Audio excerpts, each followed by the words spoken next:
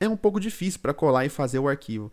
Então, isso é verdade mesmo. A arte, no geral, é prática. Então, se você não tem muita prática, você vai sentir dificuldade no começo mesmo. Mas conforme você for praticando e você acostumando a fazer, vai ficar cada dia mais fácil.